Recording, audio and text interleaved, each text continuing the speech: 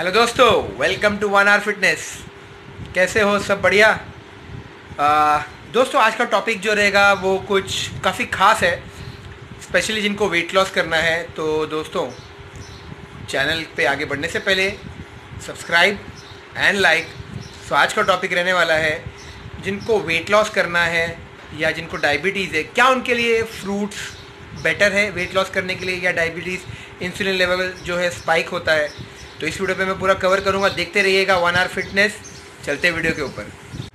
सो so, दोस्तों सब जन कहते हैं कि अगर वेट लॉस करना है तो फ्रूट बहुत ही अहम रोल करता है प्ले आपके वेट लॉस के लिए। जी हाँ बहुत सही बात है। उसमें बहुत सारे फाइबर्स रहते हैं फ्रुक्टोस रहते हैं नेचुरल शुगर लेकिन काफ़ी सारे लोग उसे जो है एकदम गलत फॉर्म में खाते हैं।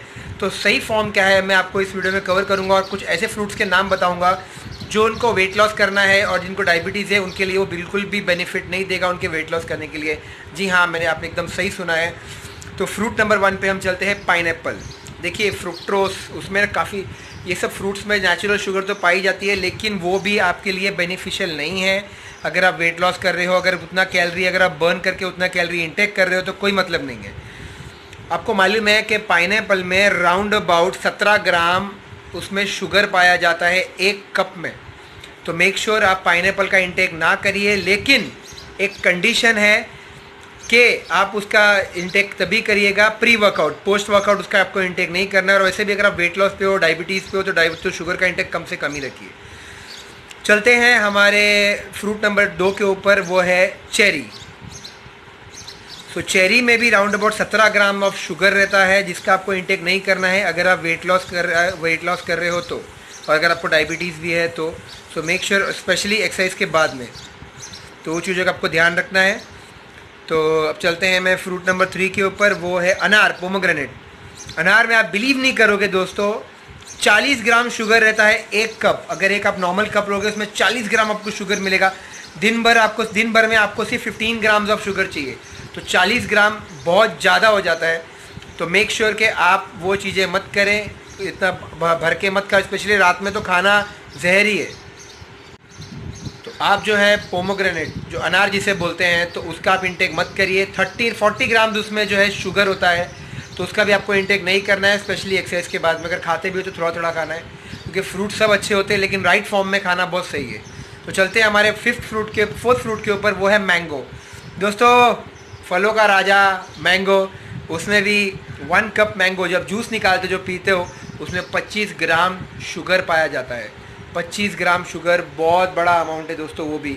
सो मेक श्योर कि आप उसका भी इंटेक ना करें। अभी तो फलों का सीज़न नहीं है, जब भी फलों का सीज़न हो तो उसका इंटेक जैसे आप हफ़्ते में एक बार कर लीजिए या सुबह के टाइम कर लीजिए तो नो प्रॉब्लम एक्सेस के बाद में आपको इंटेक उसका नहीं करना है।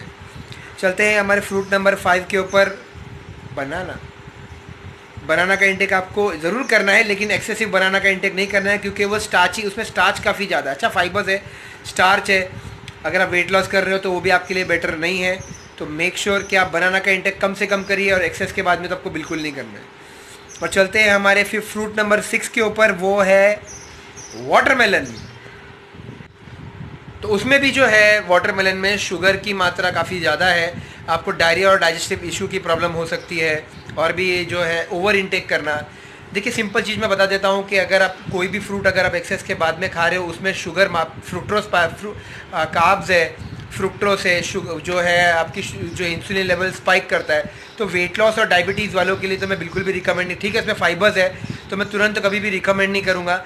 आप जाइए अपना प्रोटीन इंटेक तो उसके बाद में आप उसका इंटेक कर सकते हो वो भी थोड़ा थोड़ा आप भर भर के आप रात में खा रहे हो तो उसका मतलब नहीं है। एक्सेस से पहले आप थोड़ा थोड़ा खाइए तो कोई प्रॉब्लम नहीं, आपको एनर्जी प्रोवाइड करेगा, लेकिन आप उतना ही इनटेक करिए जितनी आपको उसकी रिक्वायरमेंट है। फ्रूट कोई भी बुरा नहीं होता, सिर्फ़ मैंने ये आपको बताया कि इसमें क्या क्या शुगर पाया जाता है तो आप ये चीज़ों का ध्यान रखिए और उसे आप फॉलो करिए। तो दोस्तों, मैं ऐसे आपके लिए वीडियो लेके आते रहूँगा। Please like share comment and subscribe तब तक के लिए दोस्तों गुड बाय